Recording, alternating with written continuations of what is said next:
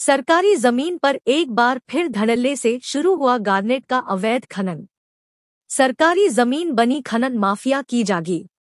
खनन माफियाओं के हौसले बुलंद। प्रभावी कार्यवाही के अभाव में खनन माफियाओं के हौसले बुलंद।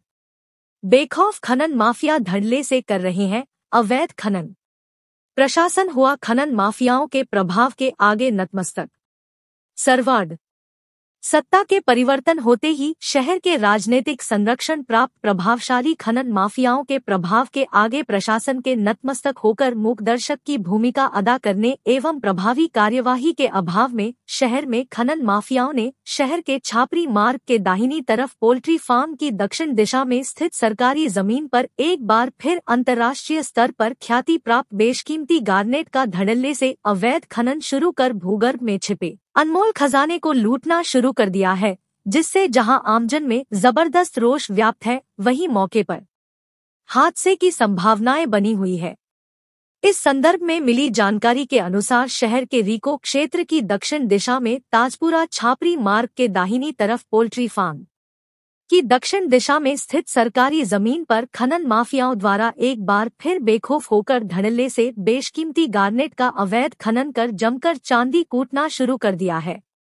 उक्त सरकारी ज़मीन पर शहर के प्रभावशाली खनन माफियाओं ने एक बार फिर खड्डे खोदकर एवं भूमिगत सुरंग खुदवाकर बेशकीमती गार्नेट का अवैध खनन कर सरकार को भारी आर्थिक चुना लगाना शुरू कर दिया है।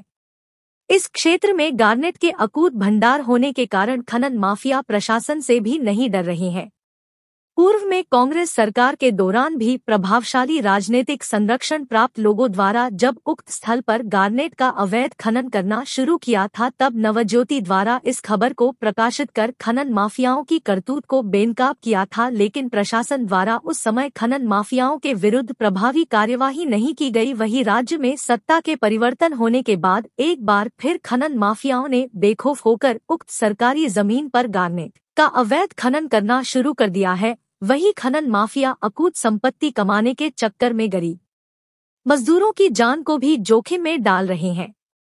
सूत्रों से मिली जानकारी के अनुसार सत्ता परिवर्तन होते ही राजनीतिक संरक्षण प्राप्त खनन माफिया उक्त स्थल पर रात्रि के सन्नाटे में टोर्च एवं पेट्रोमैक्स की रोशनी में ज़मीन से होने वाले भूमिगत पानी के रिसाव के बीच गरीब मजदूरों को खदान एवं सुरंग में उतारकर गार्नेट का धड़ल्ले से अवैध खनन करवा रहे हैं।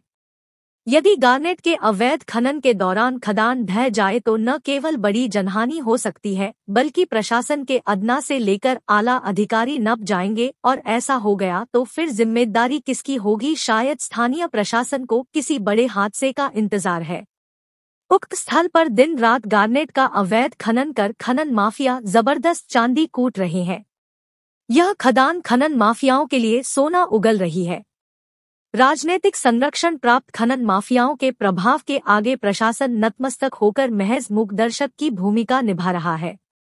यहाँ का प्रशासन खनन माफियाओं के खिलाफ कार्यवाही करने में पूर्णतया असहाय नज़र आ रहा है। वहीं बारिश के मौसम के दौरान यह खदान पानी से लबालब भर जाएगी और चारा चरने के दौरान कई पशु इसमें गिरकर काल कवलित हो सकते हैं।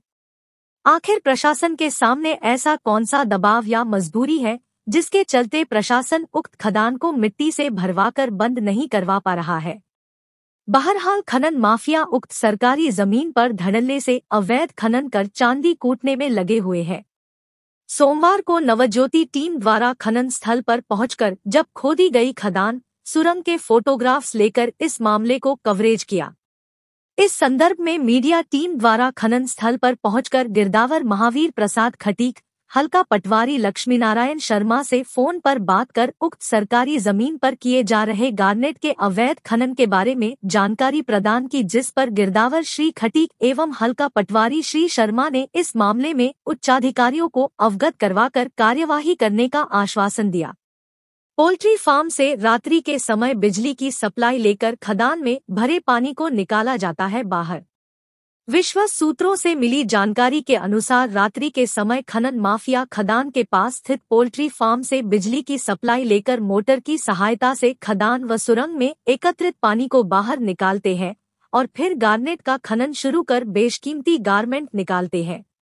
उक्त सरकारी भूमि पर हो रहे गार्नेट के अवैध खनन में पोल्ट्री फार्म संचालक की मिलीभगत बताई जा रही है।